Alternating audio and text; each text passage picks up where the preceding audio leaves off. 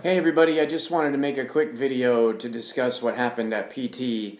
So my first PT was five days immediately after surgery, and I did have a lot of apprehension about going in there based on what people had told me the level of pain was going to be and this and that. And honestly, I walked in there um, really gingerly on a pair of crutches. I was supporting my leg, not letting it touch the ground.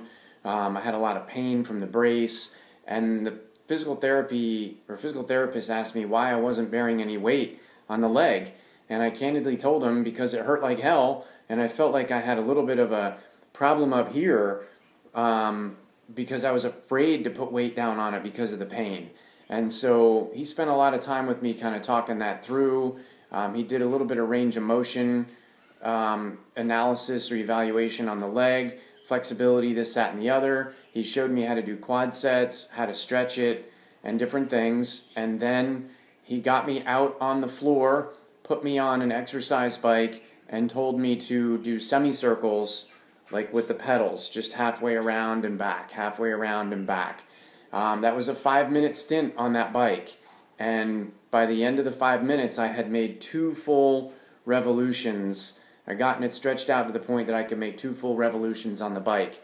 Then he showed me a new way to walk on two crutches, and he showed me a way to walk on one crutch, and then he had me walk with no crutches. And I'm to tell you, it was scary at first. Um, I really was afraid I was to fall down, but he gave me good support psychologically, physically, all the way through. And honestly, by the time it was done, I walked out of the place with my crutches in my hand, and I have been getting better on my feet without the crutches ever since. So, five days after surgery, I was, I'm to call it walking. Um, you're just kind of shuffling, hobbling, but you don't really need those crutches. The knee brace was locked at a 90 degree angle, so, or, or pardon me, it was locked straight out, so you can't bend the knee at all, but you can swing the leg and it can bear the weight and then the knee offers the, the brace offers the support that you need so that nothing crazy happens. So really frankly i don't know what all of the fear mongering is about physical therapy. Maybe people have had bad experiences. Mine was really not that bad. The guy was really supportive. I'm excited to go back and see him. But i couldn't get an appointment back there for 10 days. Um, and then after i go back 10 days later um, i will then go two times a week after that for the next month. So, in the meantime, I've been doing the exercises he gave me, trying to stretch it. Um, I did find a way better way to adjust the brace so it doesn't cause me as much pain.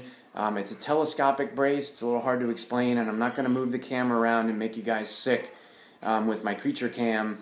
But um, basically, I took the top half and opened the telescopic side and slid the the straps way up my thigh. So they're really grabbing like just under my right glute and it gives them a better hold on a thin part of the upper leg so that the thicker part of the middle hamstring and quad fills up a gap and then there's a strap that goes around at the top of the knee which is the bottom of the femur and it seems to hold the brace in a lot better position. Whereas before, there was nothing for it to really grab onto, and my, my leg is muscle is shaped like this, and it just wanted to continually slide down that V. It was putting pressure on the patella, hurting the patella tendon. Like you just didn't even want to wear it.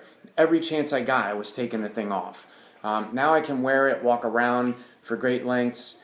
Um, I've got 2,600 steps in on the Fitbit today, and the surgery was a week ago Thursday, and today is Monday. So seven, eight, nine, ten, eleven days later. Um, so I'm going to put a follow up video on what's happened since day four post op up until today. This is what happened at PT. Um, we're starting to see the light at the end of the tunnel here, and I hope this helps. Thanks for watching.